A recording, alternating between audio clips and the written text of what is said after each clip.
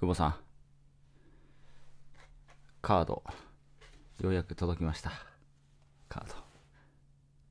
この3つ、あの、なんだ？あのセルフバッグですね。2万円の案件ですね。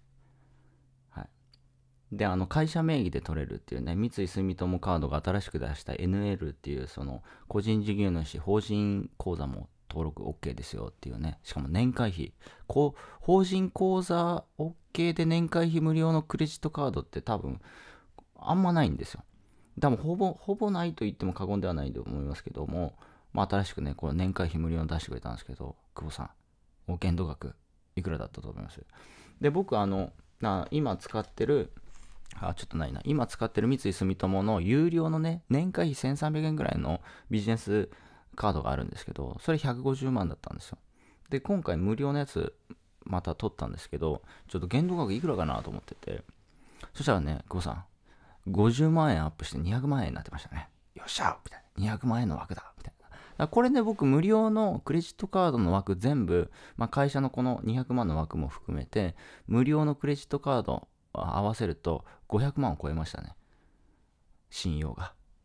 うん、だから、全動員、無料のクレジットカードだけど、も 全動員の枠を投じれば、多分ね、570万ぐらいですね。570だ無無料で570万分なんか使えるっていう。よし来たみたいなね。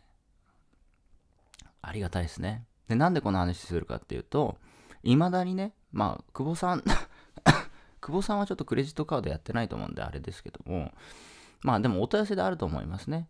なんかクレジットでなんとかなりませんかってもしかしたらあるかもしれないですけども要は信用を貯めてこなかった人はそのクレジットカード作れなかったりとか枠ないんですよ。でも僕信用貯めてきました。うん。滞納もゼロ。うんなんだいろいろ払ってきましたずっと。